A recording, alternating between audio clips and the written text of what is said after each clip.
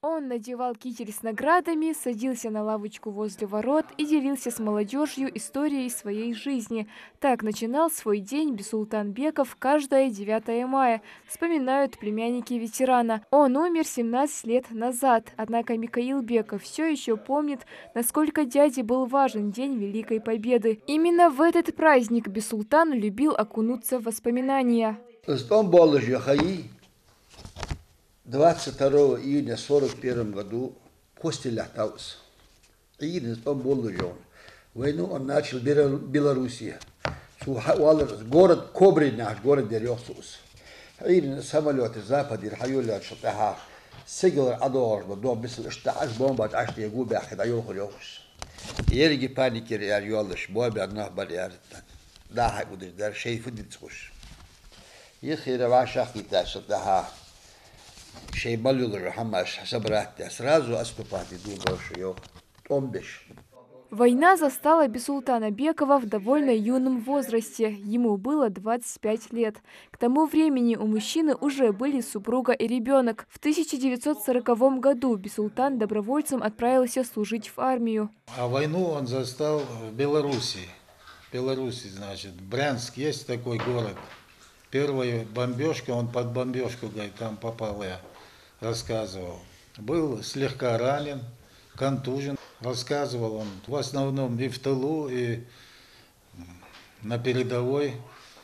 Ну, участвовал он везде в боях. Рассказывать о своем боевом пути ветеран любил. Страшных воспоминаний также было достаточно.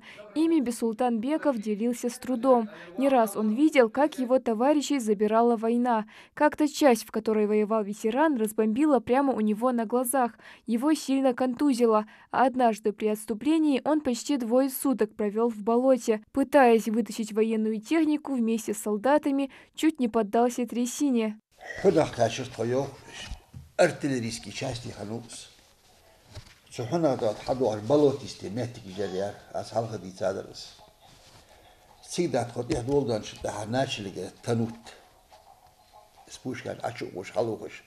Из масхан фугж лаца яхат ватас. Сбалот чуа хашта ха اللي اوتوماتي اللي توابي هاتسوسي خان الملاية بس ايلا شبع سعد بلا ستاني دي داخل ازيار ستا حد لا نوق زسا سات دي سو حلار واسو بقش سو خان دي ساكو بلا جوانس سيش حلار يعني اون بيج حبيج دابيج اش تخيا قروا يار خلي لطفا يار شوالا دوق امن نخ بطور يار بوا دو قبور يار يا ياسر يار ملا ياسر يار خلم لي نوس 1944 во время депортации нашего народа ветеран благодаря командиру роты остался в строю советской армии до конца войны. Боевой путь окончил в Польше. Следом его ждали долгие 13 лет жизни на чужбине.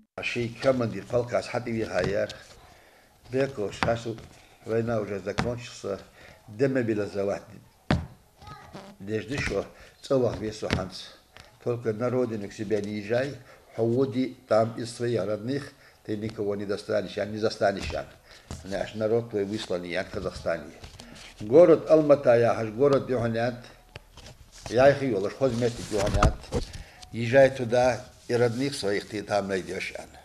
За боевые заслуги ветеран удостоен многих наград. Это и Орден Красной Звезды, и Отечественной войны первой степени. Правда, большинство медалей потерялось во время депортации. В 1957-м Султанбеков одним из первых вернулся в родное село Верхние Очелуки. Вместе с семьей обустраивал быт, растил детей и оказывал активную помощь поселению. Вообще здесь строений не было.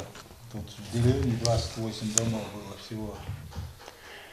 Вот и начали восстанавливать разрушенное хозяйство.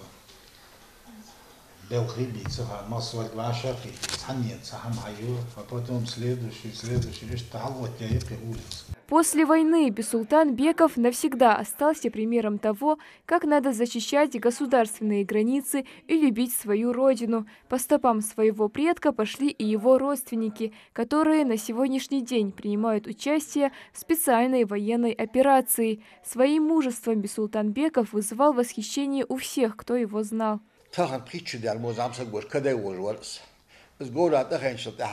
Человек, кто слугу, вот хал варга, гор хах кюлдер вар.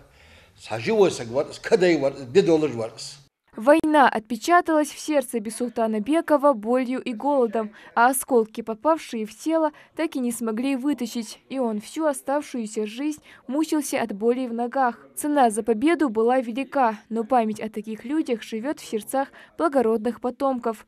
Малика Измайлова, Султан Магушков, Магаз 24.